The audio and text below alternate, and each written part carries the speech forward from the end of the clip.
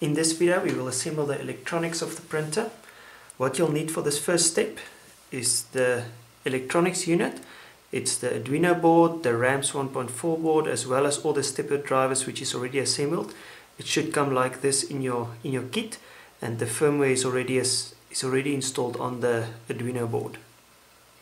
Then you'll need three M3 by 30 screws and three M3 lock nuts. We will assemble the electronics to the side of the of the printer on the right hand side. So I will do that is we'll take the electronics, the side where the USB plugs in will be facing down and you'll see that there's three holes that lines up with the holes that's in the in the electronics where we can mount it. So we'll put the screw through the through the holes and then we'll mount it to the to the frame and we'll fix it on the inside with the lock nuts. Once you've done that, the electronics should be nicely secured on the side, not rattling with the big connectors facing to the bottom. Next up is to mount the fan. This fan will cool the, cool the electronics. What you'll need is the 80 by 80 millimeter fan, two M3 by 16 screws, and two standard M3 nuts. We will mount the fan to the back of the electronics with the, the slots provided while the the sticker of the fan is facing the electronics so that when we connect the red wire to the positive 12 volt and the black one to the ground that the fan is blowing air over the, the electronics.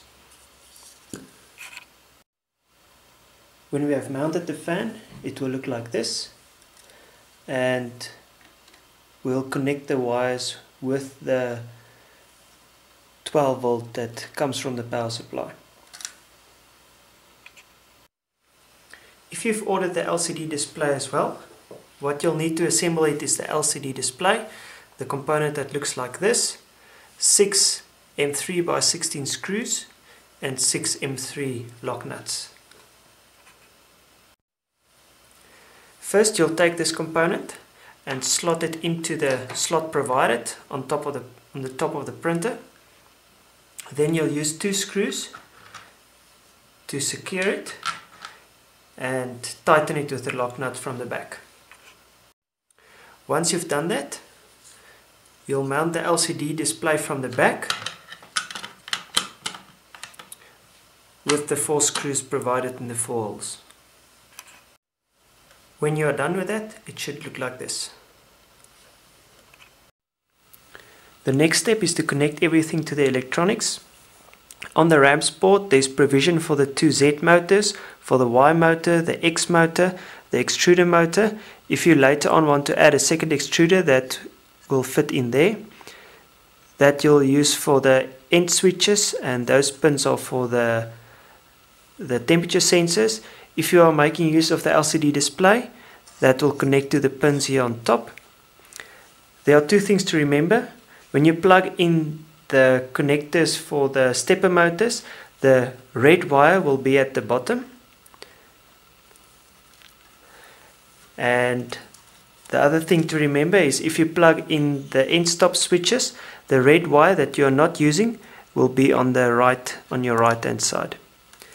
You can plug in the, the cables according to the following figure.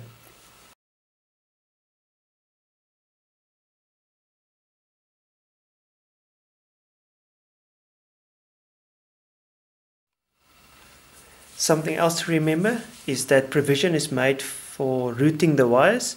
There are cutouts in the frame that looks like that and there's a couple of holes in the frame to put cable ties through to, to fix the wires. Another thing is that the leads for the for the fan will connect with the 12 volt power supply which is connected to these connectors here.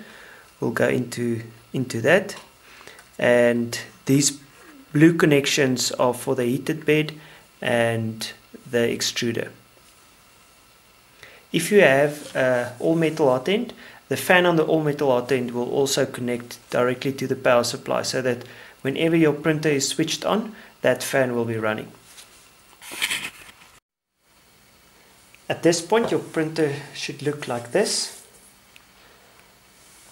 The final step is to take your glass bed and place it on the, the heated bed and then we secure it with the four metal clamps that was provided in your kit.